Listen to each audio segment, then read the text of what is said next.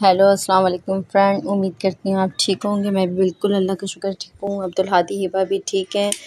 हम लोग जा रहे हैं शादी में और ये देख सकते हैं हिबा हादी का ड्रेस ये इनके न्यू बैंगल्स में लेकर आई थी। आज ही मैं गई थी सुपर स्टोर और ये सारे बैंगल्स क्लिप्स ये सारी चीज़ें इनकी यहाँ पर मैंने निकाल के रखी हुई है। अब्दुल हादी के भी सारे ड्रेस प्रेस करके रख दिया है। ये शूज़ भी निकाल लिए हैं।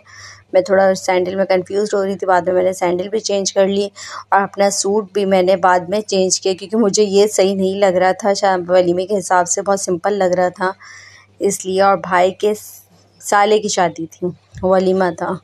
तो कल हम ये कि रिसेप्शन में गए थे, बहुत अच्छा लगा, बहुत मज़ा आया। वहाँ खूब इन्जॉय किया स्कार्फ़ के कैप है जो स्कार्फ़ के अंदर स्कॉलर के अंदर आप लेते हो, ये मेरा स्कॉलर है, ये देख लें, ये गोल्डन कलर का ये मैंने बैग निकाल के रखा हुआ है। जाने से पहले एक एक चीज़ रेडी रखना पड़ता है क्योंकि ज़ाहिर सी बात है, आप कहीं पर भी जाओ, कुछ चीज़ मिस ना हो जाए या फिर बाद में ढूँढने में टाइम ना लगे टाइम शॉर्ट होता है। फिर मैंने ये वाला ड्रेस निकाला। मुझे ये ड्रेस इसलिए अच्छा लगा, चौदह अगस्त भी आ रही है अभी और अगस्त में ग्रीन ग्रीन पहनो तो बहुत ज़बरदस्त और ये ये कि बहुत ही ज़्यादा, ये है मैक्सी और ये दुपट्टे में भी चौड़ा काम था तो मुझे ये बहुत अच्छा लगा। ये मेरी ईद पे मुझे फ़र्स्ट ईद पे मेरी अम्मी ने मुझे गिफ्ट दिया था। ये आ गए हैं हाँ हॉल में। और इतनी वीडियो नहीं अपलोड यहाँ पर मैं कर सकी क्योंकि वीडियो बनाना मुझे थोड़ा वो लग रहा था अनकम्फर्टेबल थी मैं, क्योंकि लोग बहुत ज़्यादा थे। उस वक्त स्टार्टिंग में तो कोई नहीं इतना आया था, पर फिर बाद में लोग जैसे जैसे आने लग गए थे तो इतनी ही अपलोड कर सकी बस ये हादी खूब खेल रहे थे, खूब इन्होंने इन्जॉय किया है। और ये मैं लेकर आ गई हूँ ये इम्तियाज़ से सारा सामान मेरे हस्बैंड लेकर आए इस दफ़ा मैं नहीं गई थी, मैं दूसरे सुपर स्टोर गई थी हैदरी सुपर मार्केट में गई थी। बाकी चीज़ें कल मैंने वहाँ से ले ली थी। वापसी में हमने डिनर भी कर लिया था। ये मैं दो दिन पहले और ये आज की वीडियो है। ये मैंने आज इन्होंने लेकर आए मेरे हस्बैंड इम्तियाज़ से सारा मेरे सौदा उनको ले देते पूरी लिस्ट महीने के स्टार्टिंग में तो आती हैं।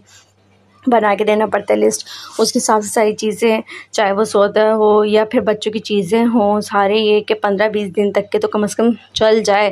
फिर उसके बाद ये कि बच्चे ज़ाहिर से लंच दो, फिर बाद में बच्चे खाते वेजिटेबल्स बहुत अच्छी लगती मुझे इम्तियाज़ की, मैं लाजमी लेती हूँ। इस दफ़ा हस्बैंड लेकर आए हैं। तो वो थोड़ा बहुत ही लेकर आ गए अपने हिसाब से उनको इतना नहीं पता होता जेंट्स को। मैं जाती हूँ तो अपने हिसाब से लेती हूँ। एक तरफ़ मैं बना रही हूँ अरबी गोश और ये देखें अरबी गोश में ये मैंने टमाटर, प्याज और अदरक, लहसुन ये सब डाल करके गोश में ये हल्दी डाल रही हूँ। ये सब डाल करके खूब अच्छी तरीके से मैंने इसको चला करके दो तीन मिनट ये मैंने ये देखें ये देखें, धनिया डाल दिया है और हल्दी डाला है मैंने एक एक टीस्पून। दो मैंने इसमें प्याज ली थी, तीन टमाटर लिए थे, दो बड़ी बड़ी बिल्कुल अनियन ली थी।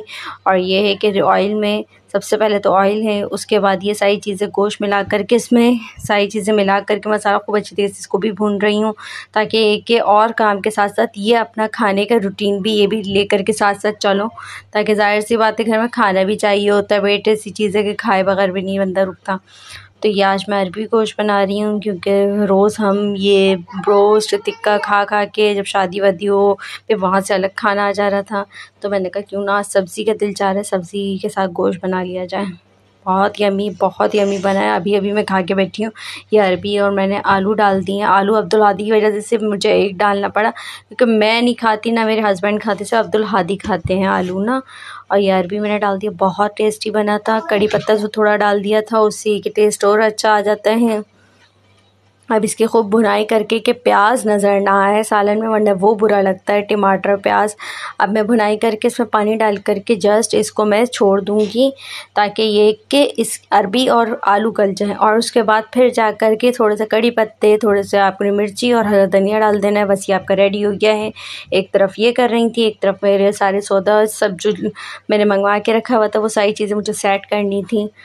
और घर के भी काम होते हैं। एक तरफ़ कारी साहब इनके आए हुए थे पढ़ाने के लिए, फिर सफ़ाई करना, फिर ये वो सफ़ाई में साथ देना। मासी को भी देखना पड़ता है कि मैंने पानी डाल दिया ऐड कर लिया है। अब इसमें अरबी और गोश्त जब गल जाएगा तो हमारा ये सालन रेडी है। तो ये मुझे ये देखें बहुत यमी बना था, बहुत ज़बरदस्त माशाल्लाह से बना था, क्योंकि जितनी आप बुनाई करेंगे, उतना अच्छा आपका सालन बनेगा। बुनाई ज़्यादा होगी, बुनाई के ऊपर डिपेंड करता है। काफ़ी दिन बाद मैं वीडियो अपलोड करी है, देखें। लाइक और सब्सक्राइब करना ना भूलें अपना। ख्याल रखें। अल्लाह हाफ़ दुआ में याद रखें।